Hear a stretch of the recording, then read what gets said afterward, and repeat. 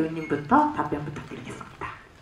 아, 네. 워낙 그 액션에 관해서는 감독님과 무술 감독님께서 워낙 베테랑들이시라 크게 저희는 어려움이 없었고요.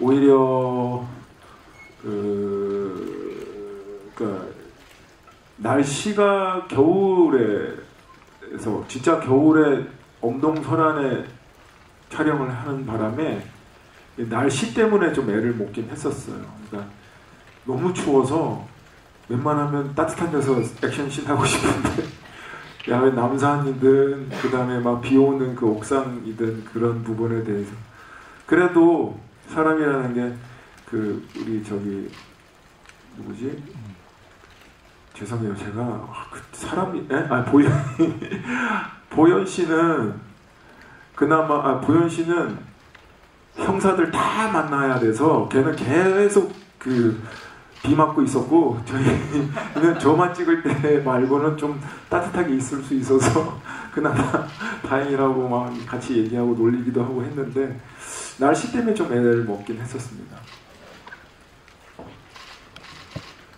예, 뭐 힘들었던 점들을 얘기하려다 보니까 생각해 보니까 선배님 말씀처럼 어, 짧게 도와주러 왔다가 가장 많이 고생한 안보현 배우가 생각이 나는데 아 정말 고생 많이 했습니다. 현장에서도 정말 노력했고 안 괜찮은데 계속 괜찮다고 하고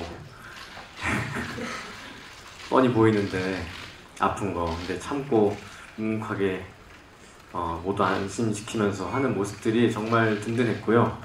저희가 함께 했던 액션들 중에서는 어, 저는 유승환 감독님을 만나서 아 액션이 이렇게 이렇게 찍, 찍는구나 이렇게 되는구나를 제대로 한번 느껴봤던 것 같아요.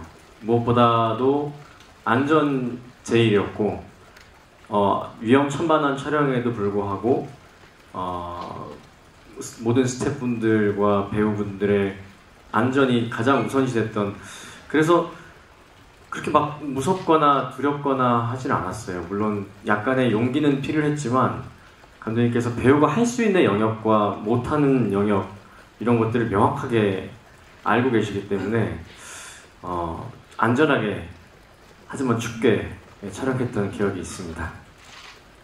네, 다음 기자님